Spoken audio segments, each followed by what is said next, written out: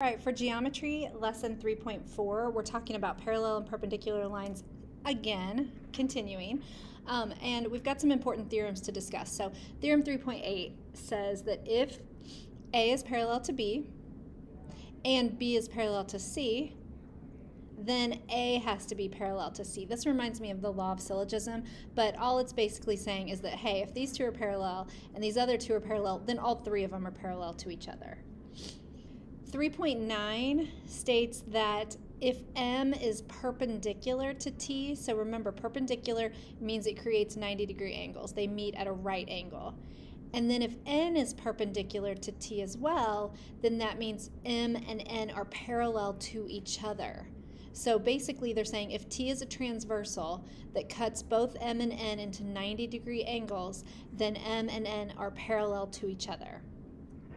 All right, and then in the last one for today, um, 3.10, this says that uh, it's the perpendicular transversal theorem. So if N is perpendicular to L, so N is a right angle with L, and L is parallel to M, these two are already marked up parallel like they are, um, then N is also perpendicular to M. So these two are very similar to each other. They're basically like the converse of each other.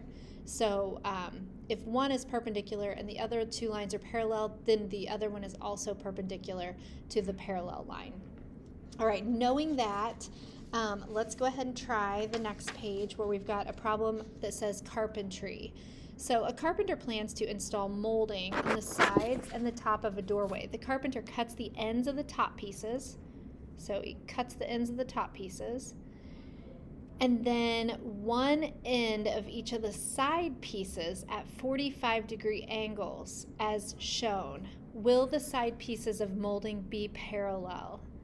So will this side be parallel to this side if they're cut at 45 degree angles and the top was also already cut at 45 degree angles? So the answer to this one based on one of our theorems for today is yes. So this is going to get kind of wordy, but I hope it makes sense. I'm going to say something like um, when the pieces fit together, okay, because we're talking about the degrees when they're going to fit together. So when the pieces fit together, they form 45 degrees plus 45 degrees, which if you can do the math of that, that would be 90 degrees angles. Okay, that would be 90 degree angles. So, each side is perpendicular. I'm going to use this symbol for perpendicular. It's like an upside down capital T to the top. All right, and then uh, we know from our theorem that if two lines, which would be the sides, I'm sure you know this, but just for clarity, the sides are perpendicular to the same line, which obviously that same line I'm talking about would be the top. Then I've run out of room, so I'm going to have to go over here. Then they are parallel. I'm going to do the do two double lines for parallel to each other. Okay. Again, a little wordy, but I hope it makes sense based on our theorems that we just learned today. All right, the next part says, can you assemble the pieces here at the right to form a picture frame with opposite sides parallel? So can you put these together to make a picture frame? Obviously, this would be like top, side, top, bottom, other side, to form a picture frame with opposite sides being parallel. So here's what I hope you guys know that 30 each plus 60 each would add up to 90. So we are going to say yes again that um, basically it's going to be the same explanation as up here. 60 degrees plus 30 degrees equals 90 degrees, which would form, so that's a yes, which would form perpendicular angles. And then one of the um, theorems we learned today is that actually it's called the perpendicular, I'm, I'm abbreviating the perpendicular transversal transversal theorem. THM is going to mean theorem for me. Um, provides a way to conclude that lines are perpendicular. Okay. All right, we are going to wait to do proofs um, on our next page. So you can cross off the bottom two on this particular worksheet because we're going to do them now on the next page. So let's go to the next page, which is 3.4 practice. Um, this is a map. So this should look similar to a map that you guys have done recently. But a developer is planning a new housing complex. The map of the complex is shown at the right. Assume all streets lie in the same plane. So if Washington and Lincoln are to be parallel, what must be true of angle 1 and angle 2? So angle 1 and angle 2, they must be congruent.